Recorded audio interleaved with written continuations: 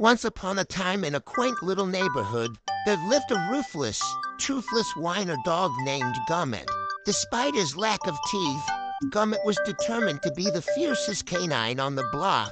One day, as Gum It strutted down the street with the swagger that only a toothless whiner dog could muster, he spotted his arch nemesis, a mischievous cat named Big Bean. Big Bean was notorious for taunting Gum It, knowing full well that the toothless dog couldn't do much harm. But today, Gum It had a plan with a mischievous gleam in his eye. Well, as much as a toothless dog could manage, he ambled over to Big Bean and unleashed the most fearsome weapon in his arsenal, his epic flatulence.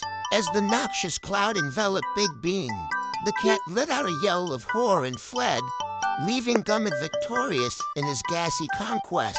From that day forward, Gum It was known throughout the neighborhood as the fearsome flatulent fiend, and though he may have lacked teeth, he certainly did lack in intestinal fortitude.